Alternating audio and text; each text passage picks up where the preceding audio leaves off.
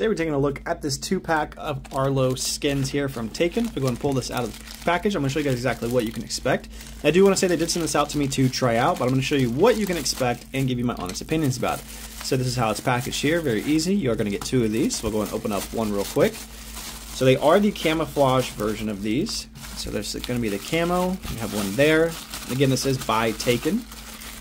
So we have both of these right here. So this is the actual skins up close. If you're kind of wondering, what is the quality? What does it look like? Well, they do have their brand right there, really nice and hidden. Nothing's going to be bright. Um, this is the inside there. Now this is a rubber texture as far as durability. You can see it does stretch just a little bit, but nothing too crazy. You have the one hole at top, the one on the side there, and of course the opening where it slides in. Now, I do want to say this is for the Arlo Ultra, the Arlo Ultra 2, the Pro 3, the Pro 4, um, and then one thing is, is it doesn't, it is not for the Arlo Essential Spotlight, but all the other ones, it will definitely work. You can see this is the two here.